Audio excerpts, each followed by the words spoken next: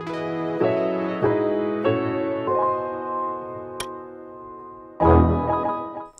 everybody, Jonathan Reeves from Jonathan Reeves CAD here, and today we're going to be looking at another Vectorworks 2025 sneak peek of an amazing feature that's coming up.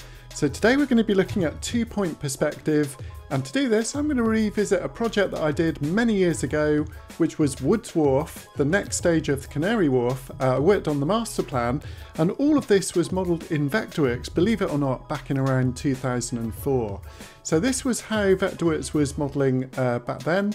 I've done a few uh, little improvements with things like some textures and things, but I thought this would make a really great example of showing you how to benefit from two-point perspective within Vectorworks.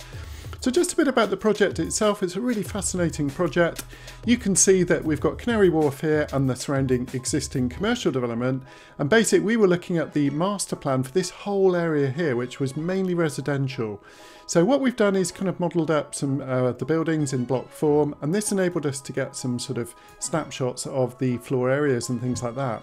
Anyway, let's get on with the tutorial and let me show you this amazing new feature for two-point perspective. So just to start the process, I'm going to go to my save views, which I prepared, and I've got a couple of little save views which I'm going to use to navigate down to eye level to show you the benefit of two-point perspective. So let's get down more to the eye level view. Here you can see down looking over the park. Um, this is actually the ventilation tower for the uh, one of the underground stations in London, hence this is there. Okay, so here we are down at ground level and you can see that as we kind of move around, we're getting that perspective in the model and the more pronounced it is, uh, you know, sometimes the model looks uh, quite strange indeed.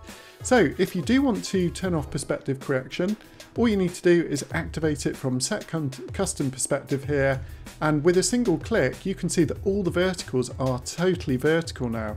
Now the great thing is that actually stays when I'm in my walk through tool. So if we kind of walk through rather nicely here, you can see all of those verticals are staying perfectly vertical. So here I've just got some really nice little save views actually, and I'll just show you how this works if you do want to take advantage of this lovely animation feature within Vectorworks. It's a very nice additional feature that you can show you. So here's my fourth position. Let's move through to one more position. So I'm going to use my walkthrough tool, which is the uh, walkthrough tool from the visualization palette here. Let's just sort of walk up this kind of like uh, area here a little bit. And when I'm ready, all I need to do is click new and let's do space A5.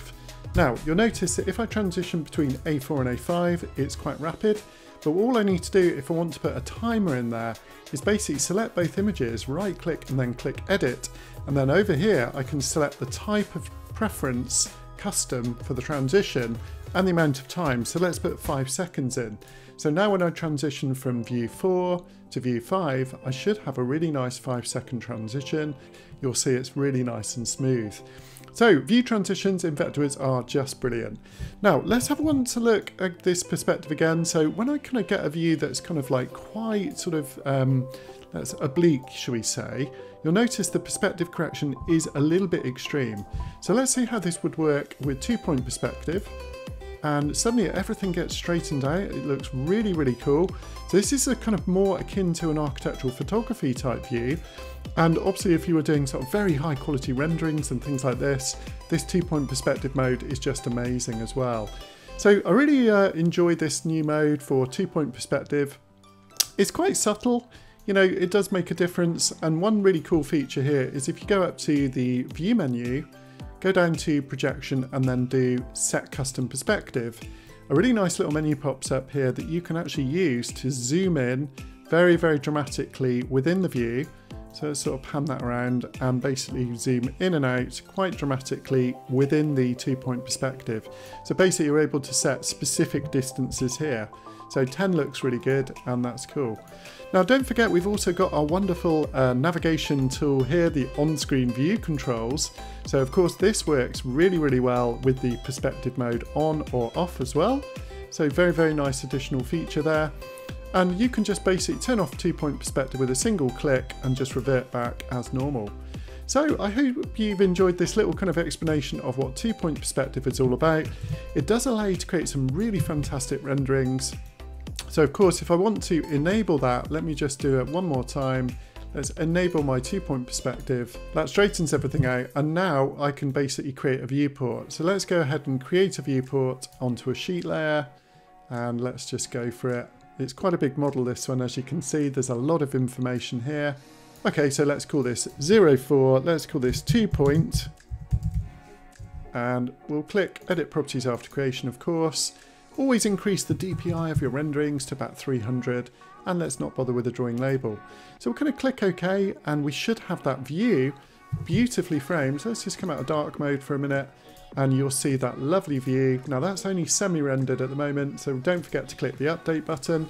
That's when things like reflections and shadows and ambient occlusion kick in. This preview render you get is actually pretty good, uh, but not as good as the final rendering as well.